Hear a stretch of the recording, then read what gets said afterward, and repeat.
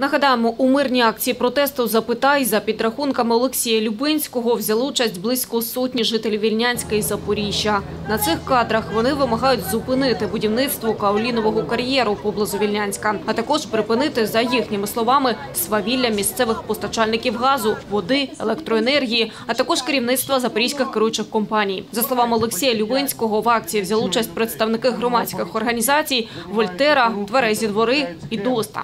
Вимога найбільша до губернатора, до мера міста Запоріжжя, е, що вони бездіє, ну, бездіють. Е, Люди вже не один випадок, коли кричать, е, плачуть, що допоможіть. Якщо не почує нас влада, то, мабуть, буде щось більш радикальне, бо на даний момент це мирна акція, прийшли люди.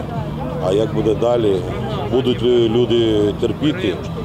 Я дуже сумніваюся. Хочу узнати, чи проживе хоч один день депутат за 300 гривень, як у мене після оплати квар- квартири з пенсії. Возмущает, що мошенники. Обурює, що шахраї, на яких клейма ставити ніде, прийшли до нашого краю, і чиновники їх не зупиняють, а допомагають будувати цей кар'єр. Від початку отримання дозвільних документів там увесь процес був сфальсифікований. Сьогодні в нас по воді дуже велика проблема, бо рішенням Запорізької обласної державної адміністрації обласної ради вірніше прийнято таке рішення, щоб кожна е, людина винесла е, лічильник за межі свого будинку. Люди е, бунтують, люди заперечують, люди пишуть листи у всі інстанції. Ну відповіді отримують.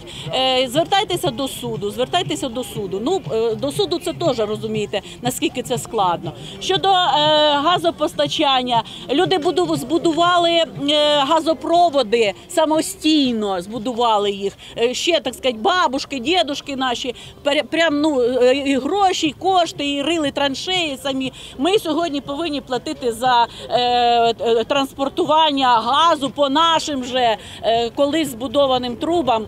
Повинні платити. Тобто проти всього цього безладу, що влада ну не захищає людей.